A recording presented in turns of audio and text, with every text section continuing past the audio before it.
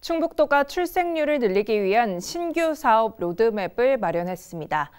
그러나 출산 양육 수당을 두고 갈등을 빚었던 청주시의 동의를 구하기가 쉽지 않고 또 보건복지부 사전 협의까지 남은 절차가 만만치 않습니다. 유소라 기자의 보도입니다. 민선 8기 2년차 비전으로 출생 증가율 10% 달성을 내세운 충북도. 결혼부터 임신, 출산, 돌봄까지 아우르는 18개 신규 시책을 잇따라 발표했습니다.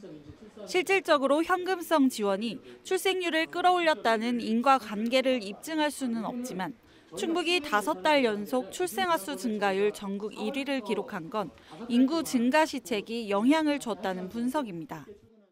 단기에만 이렇게 올라간 게 아니라 4월, 5월, 6월, 7월, 8월 이렇게 계속 이렇게 올라가고 있는 거로 봐서는 내년도 저출생 사업 예산은 200억 원 규모, 도비가 72억, 시군비가 127억 원입니다.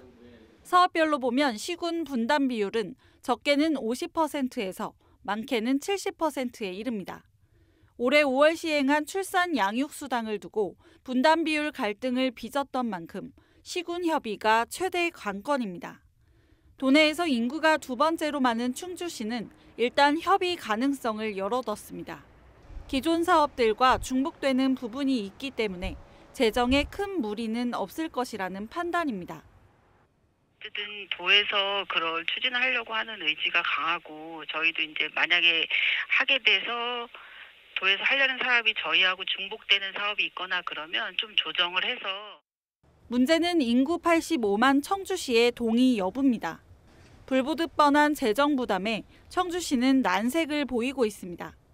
분담 비율을 놓고 진통을 겪었던 출산 양육수당의 전철을 밟을 것이란 우려도 나옵니다.